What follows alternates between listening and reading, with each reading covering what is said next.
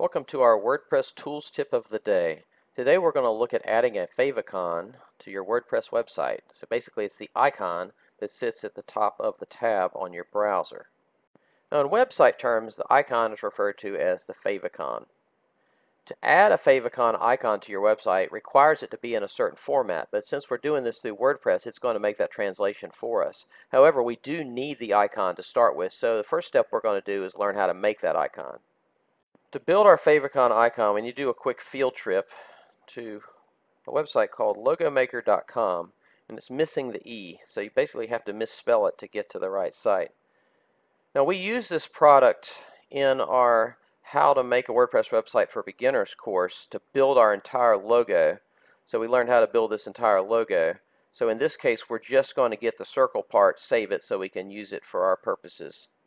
So we're going to click here to go back in. And in this search box, I'm just going to do a search for design because I know that's where I'm going to find it.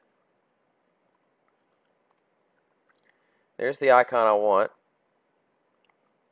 Now I'm just going to hit the crop tool in the bottom right. It crops it for me.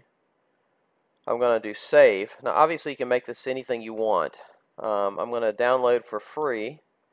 And now it's putting it in my downloads folder. And at that point I'm done and we're ready to put it in our website. To add our icon to our website we need to go to our WordPress dashboard and then go to Appearance, Customize, and under there, we're going to look for site identity. At the bottom is the site icon. We're going to do select image. We need to upload the image from our downloads folder. Select files. There's the logo we just made.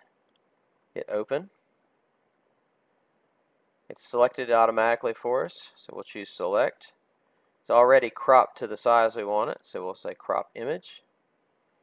Now it's in there, we hit publish. Now if we go back to our website and hit reload, there it is. And that's it for today's WordPress tip of the day. If you have any comments or questions or can think of any other tips we should make videos for you, please leave them in the comments below. We'd love to hear from you. Also, like our videos and subscribe to our channel. That's what gets the word out to everyone that these are useful tips and videos for them as well. My name's Yoda. Until next time, I hope to hear from you soon. Peace out.